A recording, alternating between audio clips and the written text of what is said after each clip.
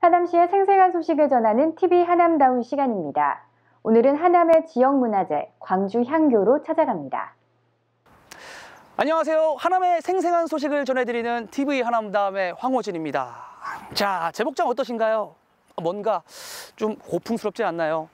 자, 이 복장을 입은 이유가 바로 하남의 지역 문화재 중에 하나인 이 광주 향교에서 특별한 행사가 열린다고 해서 한번 이어봤는데 과연 어떤 행사가 이루어질까요? 궁금하시죠? 그럼 지금부터 저를 따라오시죠. 오늘 함께할 여행의 이름은 향교로 떠나는 문화 여행인데요. 장소는 광주 향교로 하남시 교산동에 위치하고 있습니다. 광주 향교는 조선시대 때 전국에서 가장 큰 지방교육기관이었다고 하는데요. 지금의 수원, 화성, 의왕, 성남, 광주, 강동, 강남 송파 일대까지 관장했다고 하니 그 규모가 어마어마하죠. 그 옛날 임금 시대에 중고등학교 교육기관이어서 그 지금은 여태까지 제사는 이어져 왔는데 교육 기능이 좀 부실하고 그래가지고 요즘에는 그 이제 옛날 그 교육을 열심히 하고 있습니다. 아, 이런 뜻깊은 공간에 시민을 초대해 문화와 역사를 나누는 자리에 제가 빠질 수 없겠죠? 7시부터 있을 공연이 시작되기 전 시민들이 많이 모여 있는 곳으로 찾아가 봤습니다. 네, 지금 여행 프로그램에 전반적으로 지금 쭉 돌아다니고 있는데요. 자, 이곳이 바로 이 상생장터라고 합니다.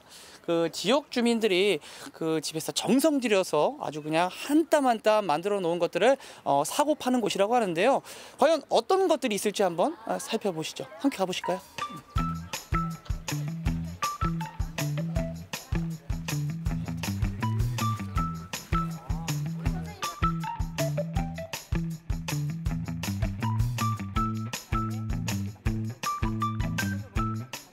뭔가 그냥 만든 것 같지 않고 한 땀 한 땀 정성이 들어간 것 같은데 일단 여기 오시게 된 좀 계기가 있나요? 아, 예. 저희는 미사리 상생마켓이라고 하남시 지역 활성화를 위해서 핸드메이드 작가들이 어, 서로 각자의 작품들을 만들어서 판매도 하고 배우고 싶어 하는 분들이 있으면 가르쳐 드리기도 하고 하고 아 판매도 하는데 가르치기도 네네. 하시고 아 그렇군요.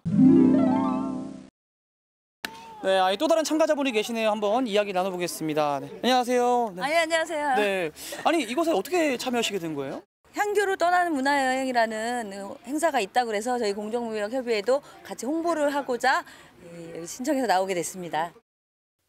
오후 5시부터 진행된 이번 행사는 상생장터뿐만 아니라 투호, 굴렁쇠 굴리기, 한복 입기 등 다양한 체험도 준비되어 있었는데요. 윷놀이, 투호 등 전통놀이뿐만 아니라 shrink art, fashion painting 등 현재의 문화도 함께 준비되어 있어 과거와 현재를 동시에 느낄 수 있었습니다.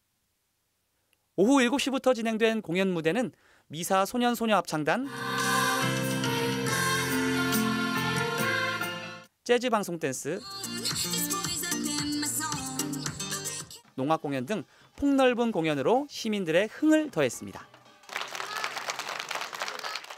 아이와 같이 이렇게 어, 이 한교에 와서 이 활동을 참여하게 됐는데 와서 보니까 사실 저희 한교가 하남에 있다는 것도 잘 몰랐었는데 또 이렇게 알게 됐고 또 이런 활동들을 통해서 제가 이게 활동을 하다 보니까 마치 제가 어린 아이로 가, 그 동심으로 돌아간 것 같아가지고 너무 좋았습니다. 어흠, 좋아. 똑같은 옷을 입었어. 어, 왜 이렇게 째려보시오? 무섭게. 아니 여기 와보니까 어떻소? 재밌었어요. 재밌었어? 아니 뭐가 그렇게 재밌었어? 투어도 하고 다른 것도 해보니까 재밌었는데. 그렇소? 아 이건 먹는 것이 아니오. 그렇다면 동생은 어떤 게 재밌었어? 윷놀이 하고 어, 투어놀이요. 아, 그렇소. 자, 오늘 하루 종일 제가 유생 복장을 입고 활동을 하다 보니까 음, 경건해진다는 느낌이랄까요? 네, 예를 갖추겠습니다. 팀장님 안녕하십니까? 안녕하십니까. 네. 자, 오늘 향기로 떠나는 문화여행, 어, 뭐 볼거리도 그렇고요, 즐길 거리가 굉장히 많았습니다. 예, 예. 이 행사의 취지가 궁금해지는데요. 향교로 떠나는 문화여행은 지역 문화재 활용 사업으로 문화재 활용 인식 제고 및 문화 공간으로서의 개방하여 닫혀 있던 문화재가 열린 공간으로 변화할 수 있고 현대인에게 다양하고 대중적인 문화재 향유 프로그램을 제공하는 데 목적이 있습니다. 아, 네, 그렇군요. 자, 그러면 이제 오늘 있는 행사 이후에 앞으로 있을 행사에 대한 좀 전반적인 계획이 있나요?